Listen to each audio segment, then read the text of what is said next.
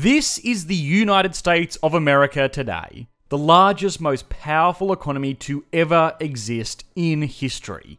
And this is Times Square, the focal point of the most powerful city in the most powerful nation on Earth. Outside of its location, though, it is still very important to take a second look at this landmark and absorb it, because it may very well be the best symbol for what drives a modern economy. This is the final part of a three part series on the economy of the United States. Previously, we have explored how the economy of the USA developed from a British colony and into the industrial powerhouse that rose to the position of power that it occupies today. Which brings us onto America in the 21st century. When a lot of people think of powerful economies, they will imagine huge factories or shipping ports, plentiful farmland, or maybe even things like powerful investment banks. But in reality, all of that revolves around what you see here. Times Square earns its spot in the middle of the financial capital of the world because it is basically a giant, unabashful cathedral of company advertising, which are one of the two things that the world runs on today debt and demand. Developed national economies are full of people that don't really need for anything anymore. Almost everybody living in the United States today has access to plentiful food, shelter, drinking water, and almost everything that Maslow put on the bottom of his hierarchy of needs. Of course, there are exceptions, and things like wealth inequality are huge issues. But a perk of being the wealthiest nation in history is that the citizens of the nation tend to be quite wealthy. The GDP per capita of the United States is around 65,000 US dollars, which is huge. It makes the average citizen of the United States today wealthier than nobilities and royalty not more than two centuries ago. Which sounds weird. I am sure many Americans will argue that they don't feel like royalty when they are deciding between rent and student loan payments. But consider this almost anybody at any time in the nation today can get very calorie dense food and even things like processed meats and fruit that would have been the reserve of royal feasts a few hundred years ago. People today also have access to information on a level unimaginable to even full time scholars 50 years ago. We also take things like international travel, machines that wash and dry our clothes, perfectly cooked food, keep our houses cool and warm at the flip of a switch or whatever, entirely for granted. These things that are afforded to us as almost expectations today would have been the domain of the gods to people in past civilizations. So, for them, looking forward, the United States of America, and by extension the Western world, would look like a post scarcity civilization.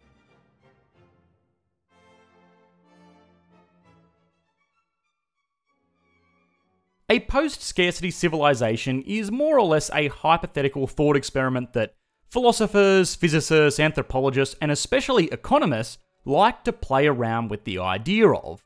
Normally, post scarcity civilizations are modeled as some distant future reality where humanity has exploited the resources of entire galaxies to the point where any material good has such unlimited supply and such limited marginal cost that scarcity or the limitation on any item is said to be non existent. You want 10 Bugattis, a private jet, a super yacht, and a partridge in a pear tree? No worries. Just throw it into your quantum 3D printer and watch as a limitless supply of materials mined from space are turned into perfectly replicated objects in front of your own eyes. This is obviously a distant reality for us here in the early stages of the 21st century, but it is not too outlandish to imagine with a logical progression of today's technology. And it is a really interesting hypothetical. The foundation of any economic theory for almost any school of economics is that we have unlimited wants, but only limited resources in which to fulfill those wants. It's the first thing that they teach you when you walk through the doors of an Economics 101 lesson. Everything is built on top of this idea Demand and supply models, efficient market hypotheses, the constant battle about how to best allocate the limited resources. All of it is based on the idea that resources are limited. So, when we explore the idea of a hypothetical reality without limited resources, a lot of our understanding and theories and models kind of break down in a sense. Or does it? You see, a post scarcity civilization is normally a hypothetical where resources are unlimited, and economics is based on unlimited wants, but only limited resources in which to fulfill those wants, which is a bit of a misnomer, you see. Not all wants can be fulfilled by resources. The example before of Bugattis and yachts and jets might be where people first go when they have unlimited resources. I mean, just look at GTA Online hackers and you see a live demonstration of this in practice.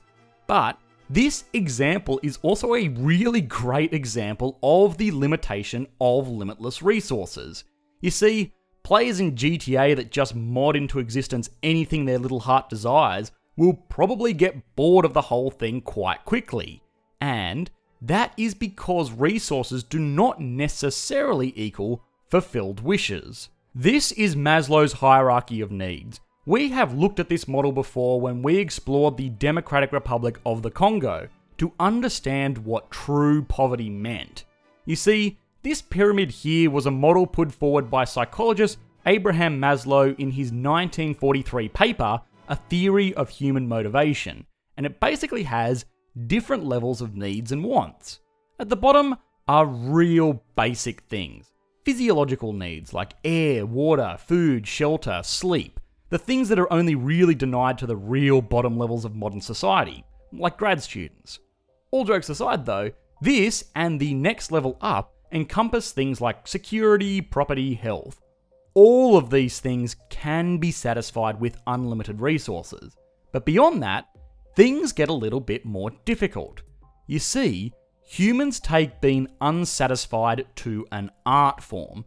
So oftentimes it is not enough to just be healthy and alive. You need to do human things like have good relationships, develop self esteem and achievements, which is exactly where our GTA Online hacker fails tremendously. But in the real world, it explains why the citizens of the wealthiest nation in history are not the happiest people in history. You see, sure, Average people today are richer than kings. They have better food, better shelter, more safety from things like famine and pandemics, but they don't necessarily have these more introspective needs fulfilled.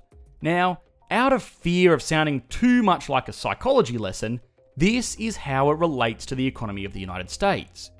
The United States is a post scarcity civilization.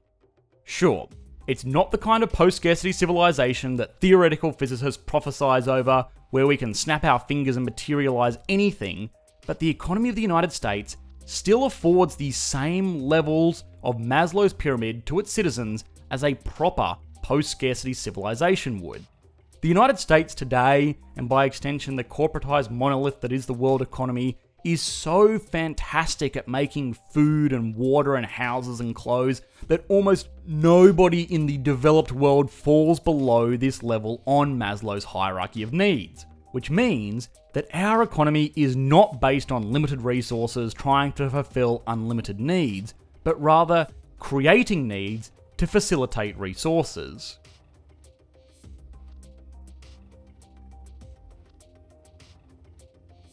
Think back to ancient civilizations. Their wealth and power was almost directly correlated with how much they could farm. The more they could farm, the more people they could support and the more power they could wield. After that, it became how many colonies your nation owns, and then for a short while, it was all down to how good your manufacturing technology was. These days, it's how much demand your consumers have. Things like Household spending, retail sales figures, and consumer demand are synonymous with a healthy and growing economy. The wealth of nations has shifted from how much an economy can produce to how much it demands. Nobody needs a private jet or a super yacht or even a mobile phone that has unlimited access to the greatest repository of knowledge in existence. We convince each other that we need these things, since the modern age of industrialization, demand has become the most important factor in an economy. Demand is basically a function of the amount of people that are willing and able to buy a good or service at a given price, which can be broken down into two parts. Willingness to purchase something, of course, depends on the item. Going back to the hierarchy of needs, if it's on these bottom two levels, people will purchase it, no questions asked. I need to pay for food and water and rent. That kind of goes without saying. You don't really need to convince me there. But that new watch or the latest iPhone or a car with 600 horsepower and two seats, yeah, I'm not going to die without those. So, it is the job of companies to intertwine the next rungs of the hierarchy of needs into these products. If I wear a great suit, I might attract a nice partner. If I wear a $20,000 Rolex, I will be well respected and it will boost my self esteem. And even at the very top level, where we are looking at self actualization, it is not unheard of to hear people saying things like, one day I will buy a Ferrari, as a self actualizing goal, something that they are actively working towards achieving, which is effectively just a purchase. The whole process of creating the willingness component of demand is basically marketing and advertising, which are very new concepts. Back in the day, People needed rice. They paid money and got rice. They needed homes. They worked the fields and they would be accommodated. There was very little wiggle room to create any more desire for things because nations were pretty much maxed out with what they could produce. But then, in the early 1900s, companies started realizing that, hey, we can probably produce more stuff than people will ever need. Better start convincing them they actually need it. Another major part of this is how secure people feel.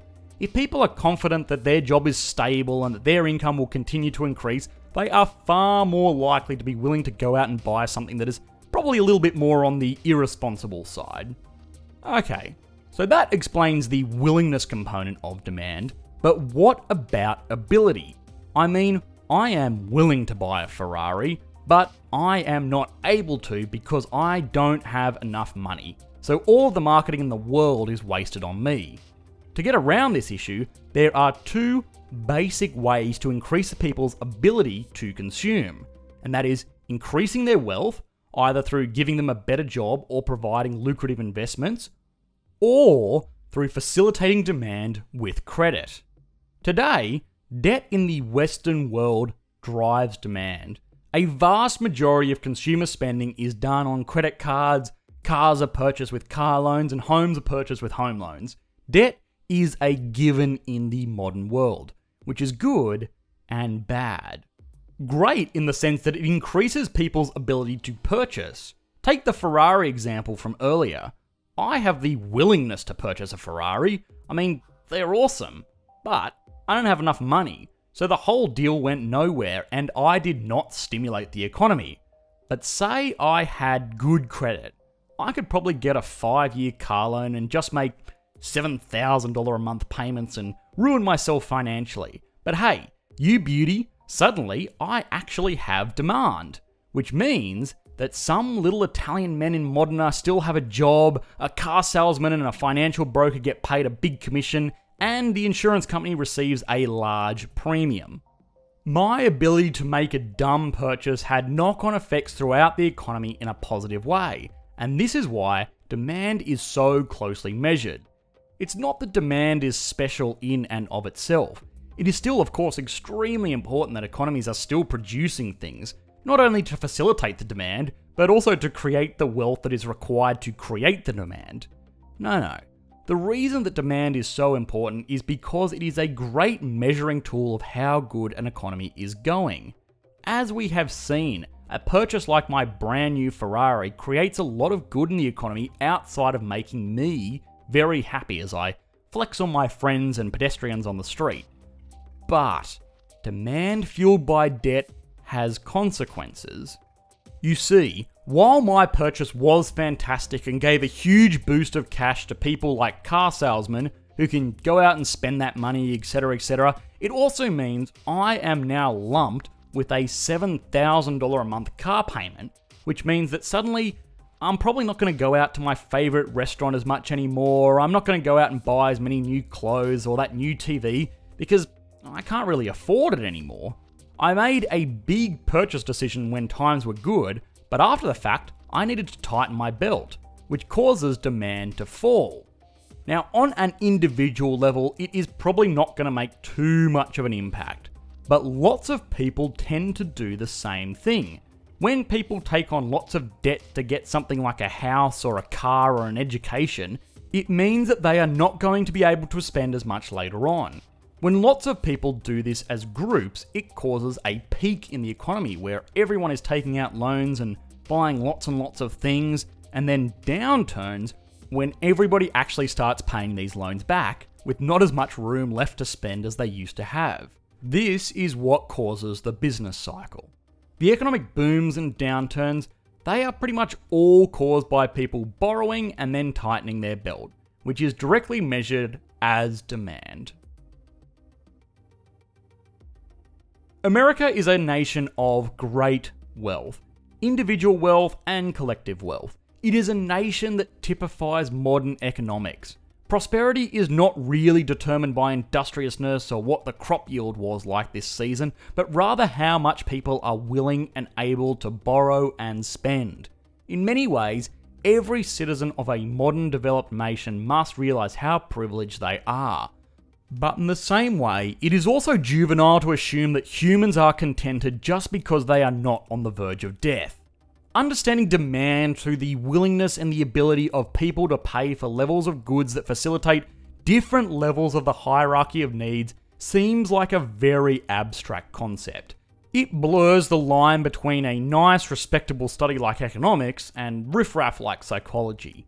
But if you can understand the whole process of an individual making a decision to leading them to making a purchase that then creates wealth for more people, but also impacts their ability to make a decision to purchase something later on, well, you understand the modern global economy.